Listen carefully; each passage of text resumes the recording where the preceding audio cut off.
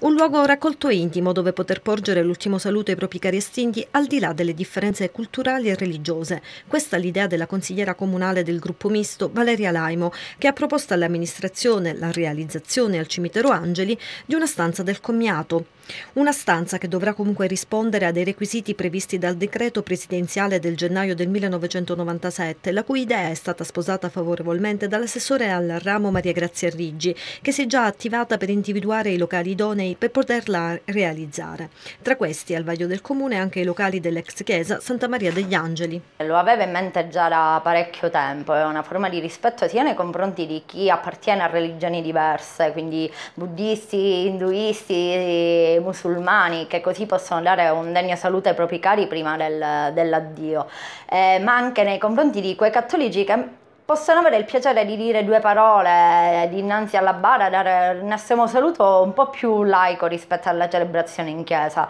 Ritengo che sia una forma di integrazione eh, culturale ma anche religiosa, è una forma di rispetto perché eh, le ultime volontà del defunto devono essere sempre rispettate, quindi magari qualcuno ha una richiesta particolare e si può esaurire. E per quanto riguarda la sala abbiamo già parlato con l'assessore competente al ramo, l'avvocato Graziella Riggi, è molto probabilmente già è stata trovata una sala, spero che abbia i requisiti eh, sanitari e tecnici previsti dal decreto presidenziale del 97 e che sia un luogo quanto il più accogliente possibile perché il momento è sempre triste quindi una sala che abbia anche una certa luminosità può essere di aiuto nei confronti eh, di chi sta vivendo un momento difficile quale quello di dire addio al proprio caro.